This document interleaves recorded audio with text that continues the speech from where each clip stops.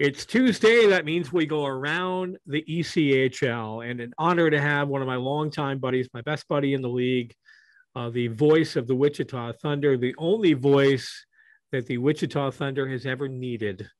Ladies and gentlemen, a graduate of Penn State University and a huge Chicago Cubs fan, the one and only Jason Delamere Mals. Wait, what did you just call me? I don't know. It, it doesn't really matter. How are you? I'm well. Don't tell that to Joel. He's in the office next to me, and he he was voice of the team for a number of years. Well, you're you're my buddy, and uh, I, I, appreciate a long time friendship. Um, this is a guy who's opened his his house up to me, um, traveling a few times because we had too many players and needed a place to stay, and so there have been a couple times I've crashed on the Mal's couch. So, you know, that's that's what a great guy he is. And his Wichita Thunder have had a great season. They've been the best team in the West for uh, the majority of the year. Uh, I know it's been a difficult year calling games, but how much fun have you had uh, calling games for this team this year? Because you guys have won a lot of games. Yeah, it's it's been a, a challenge, but I think you know, th- this has been a fun team to be able to be a part of for, for this season. Tommy, uh, you know, this team has struggled ever since the 2012-13 finals to a f- have a winning season and be able to make the playoffs. Just one playoff appearance since then. And this is only the second time in the ECHL since the Thunder joined the league that uh, the Thunder have been able to make the playoffs. So you know, it's been a pleasure to be a part of. It's been a lot of fun being around head coach Bruce Ramsay. It's, it's almost night and day from the previous two coaches in terms of the atmosphere. And it's, it's something that uh, has been very special. And I hope that at least for our fans that we can find a way to make a deep playoff run. It'd be a lot of fun to, to play you guys in the playoffs once again. Like I said, I, it's, it's been difficult since that 12, 13 finals against Allen uh, something that I sometimes try and put in the back of my mind and uh, try and forget about. and people forget, not in Wichita, but around the league, that you guys went to the finals twice. Didn't you play Fort Wayne as well? Yeah, it was back to back seasons. We lost in five games against Fort Wayne. That was a, a, tough one to swallow because we had two of our better players get injured in the first two games at our building and then ended up having a tough go at it in Fort Wayne against the Komets. Got one of our better players back, Alex Bure, in game five, but just, you know, we were in too deep of a hole in that series to try and make a comeback.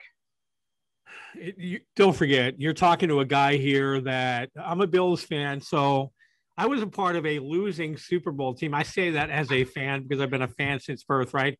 Back to back to back to back four straight Super Bowl losses, and you know, you know what Bill stands for, right? Boy, I love losing on Sunday, and don't don't think I haven't heard that a few times in my lifetime. But you know, the good thing is, uh, you know, you can move on, and you guys obviously have got, had a great team this year. A lot of good young players. Talk about your young players, including uh, Jay Dickman, who I would imagine would be, uh, you know, one of the uh, leading candidates for Rookie of the Year. You know, Jay's been an interesting story for us this season, Tommy. We, we picked him up at the deadline last year. He was a rookie last season with Indy, but he didn't qualify uh, because he didn't play enough games. And right. when we picked him up, he might have finished the season with enough games to be a rookie last year, but because of the pandemic and the, the rest of the season being canceled, uh, those last seven games, he ended up qualifying this year, and and he's been quite a story for us this season. Uh, uh, I think he came in a little bit of a I wouldn't say a question mark, but maybe a wild card. Uh, and and with his size and his work ethic, he's been able to find a, a spot on a line with Anthony Beauregard and Stefan Fournier, which has certainly helped his production. But uh, you know, we've we've had a couple of injuries throughout the course of the season, and he's still been pretty consistent. So it, has been a lot of fun to watch him. Brayden Watts, I think, has been another interesting story over the last month. He's got 11 points out of the 30 points that he scored. He came in a little bit inconsistent, had a hard time finding a place in the lineup, but uh, Braden has really come into his own as of late. And then Dean Stewart has probably been one of our best free agent acquisitions. He was picked up early in the season as a defenseman, has really come on strong. He actually has missed the last couple of games because he's been on loan to the Bakersfield Condors for their playoff run in the Pacific Division with the American Hockey League. But hopefully, we'll get him back here this week. This is Jason Mallesty, voice of the Wichita Thunder. and you've been the voice of the Thunder all but one year. There was was it Steve Schuster? To... Actually, it was four uh, years. I left from 2007 to 2011, but Steve was the broadcaster at that time. Yes. Yeah, because the only time we ever played, you know, in the old barn, uh, you weren't there, and I didn't know you at that point, but uh, quickly did the next season, and, and the rest is history. But uh, you know, it, it, you've been around a long time. Obviously, fans know you here in Allen just from the the great rivalry between the Americans and the Thunder over the years. Uh, in looking forward to the playoffs, hard to believe that we've these two teams we've been around for a long time together, that we've only met one time in the playoffs. Yeah, that that it seems to be somewhat crazy. I thought the two teams would face each other in 2011, 2012, and didn't you guys get knocked out in the first round? I believe that was Texas, maybe. We did. We uh, we we were actually we ended up carrying it to, you know, a six game. But yeah, that was a tough series, and that uh, unfortunately, um, you know, that would uh, end Dwight Mullins' reign uh, in in in Allen because he was let go at the end of the season. Uh, we were lucky enough to find Steve Martinson to come in uh, that next year. And obviously, we know his history and what he what he's been able to do here. But yeah, it just seems hard to believe that over the years that, that these two teams would only have met one time in the postseason. I, I had looked it up and thought, wow, that's right, only one time. Well, again, we had a, a tough go of it for a number of years. I think we missed the playoffs four straight seasons before that second year of Malcolm Cameron's run, where we ended up playing Colorado in the playoffs and lost to them in six games. But you know, the, the, the team has had a hard time of being consistent, finding a way to, you know, to win games and, and getting into the postseason. So if there is a possibility of these two teams playing each other in the first or second round, I, I think it would be great for the rivalry, which is one of the best in the league, anyways, but yeah. also great for the league because these two teams are close. They don't like each other. It, it, seems like Tommy, it doesn't matter who's on the roster; it just carries over year to year. Yeah, you're right. It does. Um, and and people know. I mean, if you're a hockey fan, uh, you know, I know our fans know. You, your fans know. You know, there's just that extra vibe whenever you guys are in the building, and and I talked about that. You know, with some of our new staff this year, and we've got a, you know, obviously a completely different uh, roster in our front office than we did you know, when the uh, 2013 uh, President's Cup Finals was around in Allen. But um, I told him, I said, just wait till Wichita's in the building. It's a completely different, you know, setting. The fans are into it. You know, your fans come down for games.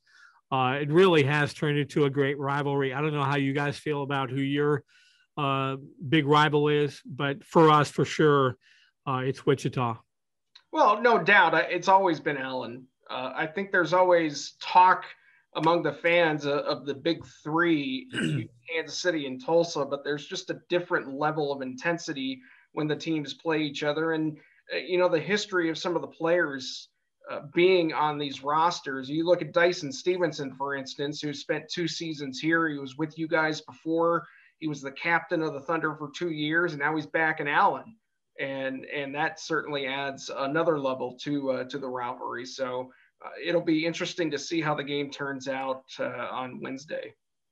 All right, I'm gonna because you're a math genius, and, and your Penn State, your Penn State diploma will tell us that. Um, have you had a chance to break down and do the math here on on all the scenarios, and you know there is still a chance that the Americans can take the top spot. Uh, do you want to break that down for us? Well, you're asking the wrong person to to consider me a math guru, but in talking with the league, my understanding is if the Thunder win tomorrow, no matter if it's in regulation or past uh, regulation, past 60 minutes, uh, Wichita would take the top spot. if we lose both games and you guys win all three, I'm about 90% certain that you guys can take first place. So uh, tomorrow's game is a huge game for both teams. And uh, even if there wasn't first place on the line, I think it would still have that playoff intensity in the building. Absolutely. Yeah. And you're right. That's, that's what I was told too.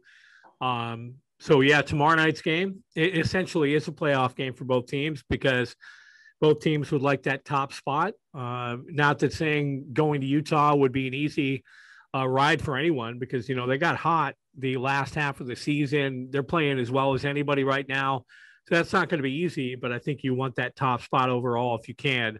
Uh, and so yes, tomorrow night as we record this on Tuesday, Wednesday night's game should just be a Wichita Allen Dandy.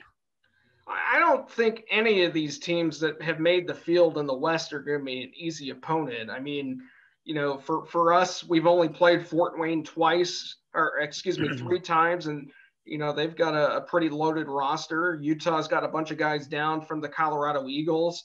Uh, they got just uh, got Travis Barron back, who's been a really good player for them. We have not played Utah in, in a couple of weeks, and I know you guys saw them what maybe a week two, week, week or two ago, and they've got a yeah. really good goaltender that we have not faced yet. So any one of these opponents that uh, these series in the first or second round, I think are going to be really good hockey to watch. I, I know you've done your math on this, so I'm not, I'm not even going to worry about it. I, I know that you're already going to say, yes, Tommy, I knew this.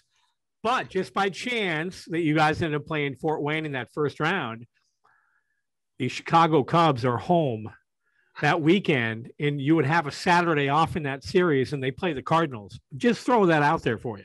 are, are you suggesting that I need to make the road trip? I'm suggesting that you should be on that road trip. Um, knowing your Cubs love, your Cubs loyalty, and oh, yeah, you have a Saturday off in Fort Wayne. It's a two hour and 58 minute drive from the hotel to Wrigley Field. Well, let's so not forget would, my parents still live in Chicago. I, I would definitely consider going, but um, yeah. you know, it, it's going to be difficult because my daughter still has softball tournaments almost every weekend. So yeah. Um, I, am going to have to visit with the staff and visit with uh, her mom and, and, everything like that to be able to make that trip. But yeah, I, I, would love to be in the building. It, it's, uh, as you know, a lot easier to see what's going on and, and call the game and get that feel for what uh, what's happening in the arena, but it's all gonna we're, it's gonna be kind of a wait and see mode because that's a, a quick turnaround for me, and the only way I'd be able to make that happen is if I drove up.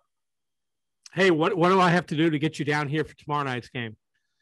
I, I, do I need to pay pay for your flights? What I mean, I want you to come down for tomorrow night's game. Hopefully, it would not be the last opportunity that I would get to see you this year, but what would it take to get you down here tomorrow night? We can have that conversation off air. How about that? Oh, okay. That's fair enough. That's fair enough.